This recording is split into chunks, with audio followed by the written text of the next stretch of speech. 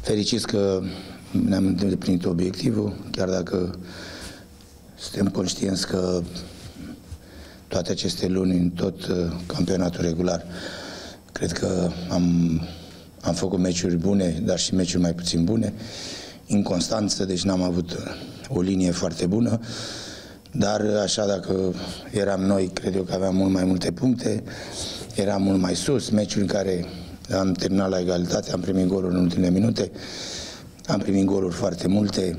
Uh, asta înseamnă că nu ne-am apărat uh, foarte bine uh, și mergem la un meci în play-off contra unei echipe care au jucători în atac foarte buni, care, care atacă foarte bine și trebuie să facem ambele faze nu bine, foarte bine atât ofensiv cât și defensiv. Sper să avem personalitatea și uh, ca să putem să ne impunem ritmul și intensitatea jocului. Trebuie să facem lucrul ăsta. Uh, suntem uh, o echipă care încă nu s-a terminat anul și încă suntem o echipă care am trecut aici și campioană, o echipă care știe fotbal, o echipă care uh, a jucat cu echipele bune, a jucat uh, de la egal la egal sau chiar le-am bătut, am jucat mai bine ca ele, așa că uh, ne place, suntem un play-off și uh, sperăm să, că acest lucru, toată această presiune care a fost înainte să dispară și să vină calitatea jucătorului, calitatea echipei să joace bine și să uh, exprimăm fotbalul cel mai bun al nostru. Cu toate că și când am ieșit campion, toate au fost meciuri dificile, sunt meciuri foarte grele, dar uh, și noi suntem o echipă bună și sper eu cum adversarii sunt foarte buni și noi suntem foarte buni și cred eu că va ieși, vor ieși meciuri foarte bune. Accidentați eh, acolo continuăm așa cum am început din vară, cu foarte mulți, în fiecare săptămână câte 5-6.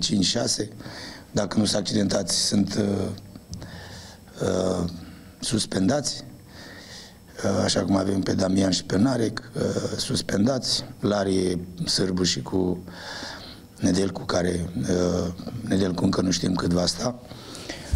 Uh, ei și ei lipsesc și bineînțeles și mai ales și Luis Munteanu și Vână care astăzi s-au antrenat bine, până acum nu, nu au făcut separat. Deci, uh, obiectivul nostru este să încercăm să, să intrăm în cupe europene, să participăm în Europa iară, pentru că am ajuns aici, pentru că e posibil, e o distanță uh, nu așa de mare, dar depinde foarte mult de, de cum vom juca noi și cum vom face noi, dacă avem capacitatea să câștigăm, în special primele două meciuri, să începem să foarte bine și să uh, sperăm să facem două meciuri foarte bune și să câștigăm. Uh, în tot această, de acum până mm, la anul, bineînțeles că ne gândim uh, vrei, nu vrei și la tot ce va fi și de la anul încolo. Uh, trebuie să găsim spațiu și pentru cei tineri. Uh, cu siguranță că o să apară mult mai mult. Uh, trebuie să le dăm acest spațiu pentru că am trecut cu, cu cei tineri și cu oameni din, din Academie care au apărut, am ieșit campioni. Deci, practic, avem exemplul în spate și sper să găsesc spațiu să le dau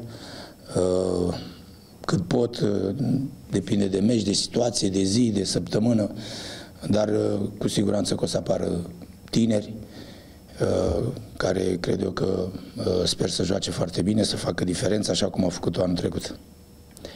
Cam asta. Întrebări, vă rog. În sezonul regular, Farom nu a reușit să învingă rapidul. Ce ar trebui schimbat acum ca să obțineți prima victorie din sezonul acesta? I-am bătut anul trecut. Știm, uh, știm că acasă am marcat trei goluri. Unul cred că a fost valabil. Așa că uh, ce a fost, a fost. Nu vorbiți de ce în spate, că dacă e ce în spate, vă vorbesc ce am făcut noi în trecut. Și pe cât, cum i-am bătut sau cum am bătut sau cum am... Uh, deci, practic, nu are rost să vorbim de istorie. În față e un meci în care uh, important, în play-off, începe play-off cu o echipă foarte bună, care uh, se mișcă foarte bine, uh, e în formă, antrenor foarte bun, atac foarte bun. Uh, asta nu vrea zică că nici apărat, pentru că au bătut pe, pe FCSB-ul 4-0, deci practic au marcat goluri multe și n-au luat goluri. Deci uh, e o echipă care informă pe un drum bun. După aia noi trebuie să fim noi, cum am spus înainte, să încercăm să controlăm ritmul și intensitatea jocului. Să avem noi controlul, să ne impunem. Va fi greu că joci în deplasare pe, în Giulești, deci e greu, dar uh, pretențiile mele uh, sunt, ele sunt acolo și sper ca echipa mea să, să facă acest lucru. Apropo de Giulești, ar fi un avantaj pentru echipa dumneavoastră dacă s-ar juca fără spectatori? Am uh, zis aseară, am vorbit, cred că ați văzut, n-are rost să mai vorbesc de un lucru ce am zis aseară. Am vorbit, am spus, uh, meciurile de fotbal sunt cu suporteri, indiferent de orice. Cine greșește, cum e afară. Nu mai vine. Și atâta, dar nu poate să plătească o mulțime pentru cineva. Nu se poate. La fotbal trebuie să fie ca afară, trebuie, să, trebuie să facem lucrurile ca să fim ca afară, cum sunt. Suporterul e suporter. Dar uh, în teren e la un spectacol. Uh, și la spectacol trebuie să fie plin, stadionul trebuie să fie plin de suporteri, altfel jucăm ca în pandemie, ce să facem? E total aiurea. Pentru mine, care am jucat și eu la un nivel și știu ce înseamnă și am jucat pentru suporteri. De-aia mă, ei îmi dădeau adrenalina de care aveam nevoie, dar nu jucam la antrenamente, poate mai stăteam, aveam antrenamente când eram bine, când nu, dar la meci totdeauna. Deci meciurile de fotbal trebuie joace cu suporterii, nu, nu trebuie să plătească unii pentru alții. Deci uh, eu le văd uh, stadioanele să fie pline. Există alte amenzi sau ce-o, ce-o fi dacă cineva face, dar uh, eu văd lumea sportului, lumea are nevoie de spectacol, are nevoie de, de spectatori. Nu pot să existe un spectacol, să vorbim de el, dacă nu există suporteri, spectatorii. Deci, practic, noi avem nevoie de ei și jucăm pentru ei facem lucruri pentru ei. Câteodată îi supărăm, câteodată sunt fericiți. Ca așa e viața, până la urmă, nu? Odată câștigi, odată pierzi. Dar important e să, să, să creezi acest spectacol. Trebuie creat și în România acest spectacol. Să fie stadioanele să vină la, la pline, să suporterii să vină la stadion, fiecare club, dar nimic nu e depășit, ca în anii 70-80 sau 80-90, când stadioanele l-au pline. Și acum să fie stadioane și să fie pline, cum eram ca pe timpul meu, când eram eu copil și săream gardul ca să văd farul. Că nu aveam eu bani să plătesc biletul. Vă dați seama, sau părinții nu-mi dădeau bani. Și trebuia să mă duc să, să văd meciul, dar trebuia să-l văd. Cam asta e. Văzând meciul cu, cu FCSB-ul din uh, ultima etapă a sezonului regulat, unde credeți că te va face diferență? Am văzut meciul cu noi care au jucat ei, ambele meciuri. Nu m-am mutat la meciul cu FCSB-ul. Am văzut meciul nostru cu ei. Analiză asta am făcut. Meciul nostru cu ei. Și unde credeți că va fi cheia la partida de bine? Între Farul și Rapid. Anul ăsta și anul trecut și tot ce am jucat. Deci am analizat numai între noi.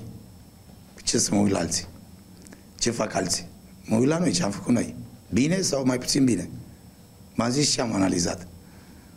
Și cred că suntem acolo. Da, întâlnim o echipă foarte bună, dar suntem cred că putem să avem capacitatea să ne batem de la egal la egal cu ei. Cam asta cred eu, că va fi de la egal la egal. Așa cred. Scorul, nu știu. Vom vedea, că nu știi. Sunt situații și situații, dar cred că chiar când am pierdut 3-1, am jucat fotbal și am făcut lucrurile bine în Giulești. Așa că trebuie să repetăm ala mai puțin golurile. Să repetăm lucrurile bune care le-am făcut. Pe toată durata meciului. Porta Rapidului este a Ioanei și Gramenii spunea mai devreme că nu va fi ușor să învingă, fiindcă Ioanei cunoaște jocul băieților, știe cum trage fiecare. A zis Gramenii, nu zic eu. Nu, dar e părerea lui. E părerea lui. Părerea mea e că trebuie să marcăm goluri. Dacă vrei să câștigi, trebuie să marchezi goluri. Numai cu spiritul ăsta trebuie să te duci acolo. Nu te duci doar ca să Trebuie să te duci să joci, să marchezi. Altfel n-ai cum ce să faci rezultat, plus că noi avem nevoie de victorie. Noi trebuie să jucăm să câștigăm. Chiar dacă trebuie să avem echilibru între atac și apărare, dar trebuie să știm să atacăm, în primul rând. Uh, trebuie să atacăm și după aceea, bineînțeles, să ne apărăm foarte bine, că echipa e foarte bună, rapidul e foarte bună, dar trebuie să atacăm. Trebuie să știm să atacăm cu tranziție negativă. Deci lucrurile astea trebuie să le facem, lucrurile astea trebuie să vorbim când, uh, dacă vrem să vorbim de fotbal. Că așa Uh, Mulți uh, știu, se fac că știu, dar puțin se pricep. Vă e teamă de eventuale greșeli de arbitraj, că au mai fost? Nu, nu discut eu înainte de meci. Eu nu discut acest aspect înainte de meci. Niciodată nu l-am discutat. Niciodată n-am zis nimic. Chiar dacă poate am de spus multe. Dar nu... Dar știu că au mai fost. Eu nu pot, nu știu. Le știți voi. Să-i las pe ceilalți să facă, să, care vorbesc înainte. Eu nu vorbesc înainte, eu vorbesc după, când vedem uh, faptele și atunci, da, pot să-mi dau o părere.